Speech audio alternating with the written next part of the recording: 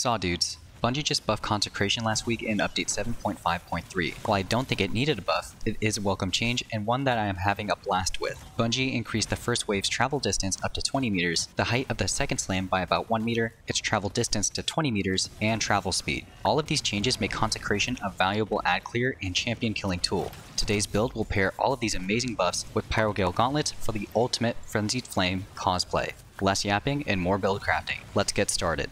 The game loop for the build is somewhat reminiscent of Bonk Hammer. All you have to do is run up to enemies, slide, then activate your powered melee ability twice. This will create two waves of flames, with the second igniting all scorched enemies for a massive Tarantino explosion. The rest of the build serves to support this action. Use your rally barricade to create cover and weaken some ads. If necessary, throw a grenade to scorch more enemies before using a consecration melee. Then use your one and done super and kill a big boy. Rinse and repeat. The only super we will be using today is Burning Maul due to Pyrogale's exotic perk. With Pyrogales equipped, it actually turns a super into a one-off super for good DPS rotations. It can room clear due to the homing cyclones. I chose to go with Rally Barricade for the lower cooldown since it can help with ability regeneration with our mod setup. Throwing Hammer is still the best choice for the melee ability despite us not using it much. It can be used indefinitely, assuming it's picked up after use, and essentially allows for two choices when approaching combat. Thermite Grenade is the preferred choice in this setup. It's great for applying Scorch to groups of ads, and has a long enough duration to lock down hallways for good CC.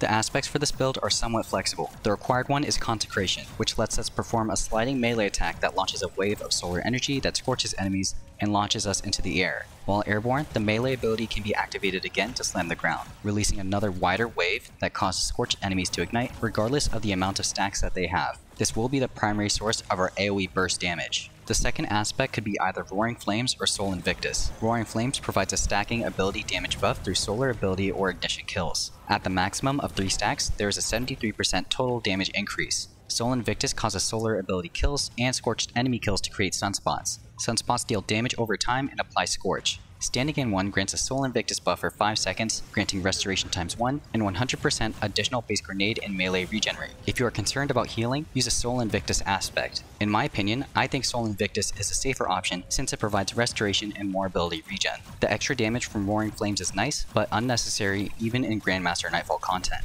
The fragments for the build are Ember of Char, Eruption, Searing, and Torches. Char causes ignitions to apply 40 Scorch to enemies damaged by it. Eruption increases the radius of ignitions by 20%. Searing causes killing scorched targets to refund melee energy based on enemy rank. Finally, Ember of Torches causes powered melee hits to grant us and allies Radiant for 8 seconds.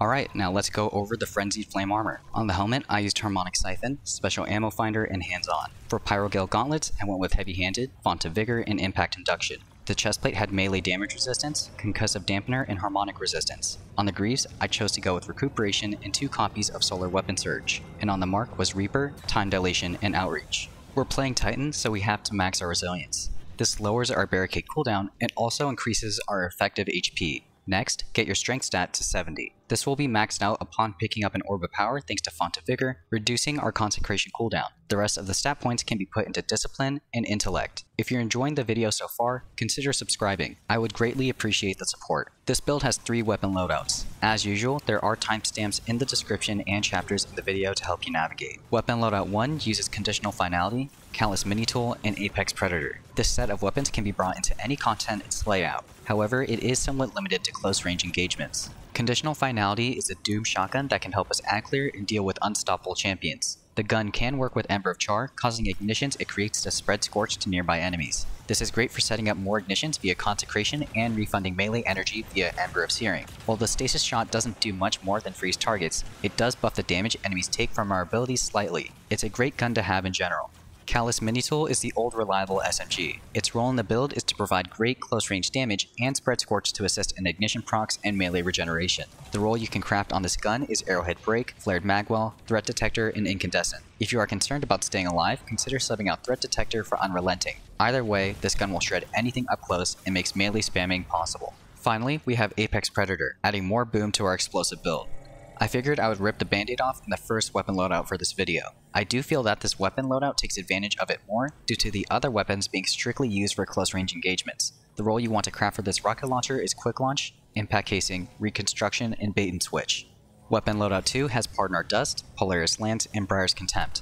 I used this loadout for the GM run you are seeing in the background, minus Briar's Contempt because my aim was pretty bad that day. Pardon Dust is our main crowd control tool and is extremely handy. The roll I use is Quick Launch, Disorienting Grenades, Auto-Loading Holster, and Vorpal Weapon. This grenade launcher is not meant to deal big damage. Instead, it's meant to blind enemies and render them unable to move or fire. As you likely saw in the footage already, exploding a grenade near a group of enemies makes them easy targets for Consecrate slams. This is perfect in harder content since enemies can't fight back at all. Polaris Lance is our long-range option for this loadout and is perfect for giving us the balance we need to make the build work well. Every precision shot refunds a bullet to the mag and loads up to a solar explosive projectile. After hitting 4 precision shots, the payload gets loaded and is shot out on the next trigger pull. The payload explodes after impact, dealing moderate damage, but more importantly, scorches enemies on hit. Polaris Lance can act as an ad weapon, backup DPS weapon, and a means to regen our melee energy. To round off this loadout, we have Briar's Contempt, a linear fusion rifle that fires in a 3-burst pattern. While Cataclysmic is also an option, I feel like it's not as potent as it once was given the slight bait and switch nerf, which allows Briar's Contempt to shine a bit more. There are a ton of perk combos to choose from on this LFR, but I believe the best to be Arrowhead Brake, Enhanced Battery, Rewind Rounds, and High Impact Reserves. I know this sounds odd, but it works.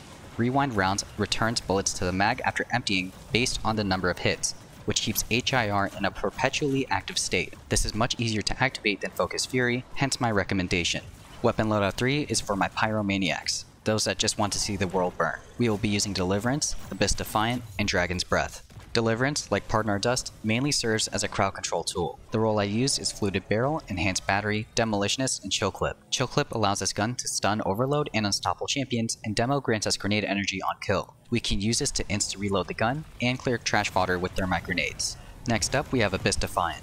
This AR will be our mid-range Scorch Applicator. The perk combo for this gun will be Heal Clip and Incandescent. Heal Clip grants us and allies cure on a reload after kills. This is super useful in high-end content where grabbing orbs may not be safe. Incandescent spread Scorch, allowing for a Consecration Prime or melee regeneration. Finally, we have Dragon's Breath. This rocket launcher spews jet fuel on contact, applying Scorch and causing ignitions. Igniting targets adds fuel to the next shot, causing it to deal more damage and apply more Scorch. This meshes perfectly with our loadout and can serve as ad clear, champion clear, or boss DPS. If you want to support a teammate's DPS, Gjallarhorn is just as good in this slot. I hope you guys enjoyed the build as much as I did. While I know Consecration does not have the same ease of use as old Bonkhammer, it still puts in solid numbers. I actually like how it plays more, since you are required to strategically use your abilities to pull off explosions. The rest of the footage is the GM run from the other day as testing. Let me know what you think in the comments. As always, thank you for watching, and happy farming.